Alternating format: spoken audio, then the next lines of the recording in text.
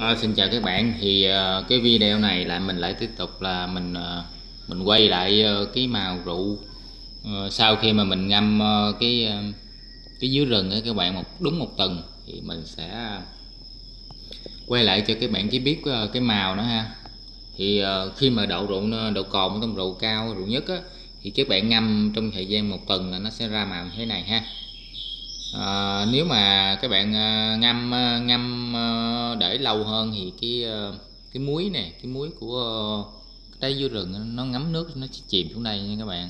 Thì khoảng trên 6 tháng mình sẽ quay lại cái màu rượu à, nó như thế nào và đồng thời mình sẽ quay tất cả cái cái cái này nè cái muối này nó chìm xuống dưới ha.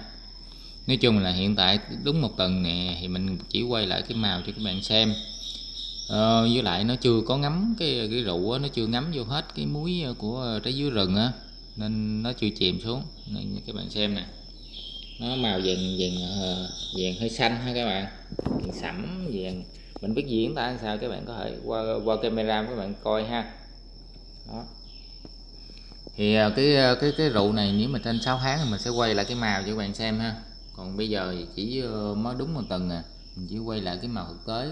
Khi mà các bạn ngâm cái rượu mà có độ cồn cao độ nhất á, thì nó sẽ mang ra màu như thế này ha rồi à, trong thời gian tới các bạn à, à, nếu có dịp nào mà đi rừng á, hoặc là đi đi chợ gặp người ta bán cái dứa ờ, dưới rừng á, thì các bạn đem về à, mua để mà để mà ngâm ha.